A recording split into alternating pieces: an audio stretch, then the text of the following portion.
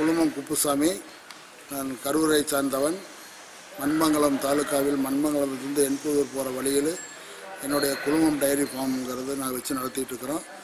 அதில் நாடு நம்ம இந்திய நாட்டு மாட்டு முறா எருமைகள் ஐம்பது அறுபது உருப்படி வச்சு பால் க பால் உற்பத்தி பண்ணி கொண்டு இருக்கிறேன் அதே மாதிரி நாட்டு நாட்டு மாட்டு பசுக்கள் அதாவது கிர்ரு சாய்வால் தார்பார்க்கர் காங்கிரேஜ் ராட்டி காங்கேயம் போன்ற நமது நா- நாட்டு இந்திய தேசிய பசுக்கள் நாட்டு ஏட்டு வகையைச் சேர்ந்த நாட்டு மாட்டு மாடுகளை வளர்த்தி அதிலிருந்து உற்பத்தியாகும் பால்களை ஏட்டு மில்கில் விற்றுட்டு இருக்கிறேன் அதனுடைய விலை வந்து கிலோ அறுபத்தி அறுபது ரூபாய்க்கு விற்றுட்ருக்கிறேன் இந்த பால்கள் கரூர் மட்டும் இல்லாமல் கோவை திருப்பூர் ஈரோடு திருச்செங்கோடு சேலம் போன்ற ஊர்களுக்கு இங்கிருந்து எடுத்து செல்லப்பட்டு அங்கே நூறுரூவா இல்லை கிலோ நூறு நூற்றி பத்து நூற்றி இருபது ரூபாய்ங்கிற ரேஞ்சில் விற்கிறாங்க அவங்க அவங்களுக்கு டிரான்ஸ்போர்ட் செலவு ஆள் சம்பளம் போக்குவரத்து எல்லாம் வச்சு அவங்க எல்லாம் பண்ணிகிட்டு இருக்கிறாங்க.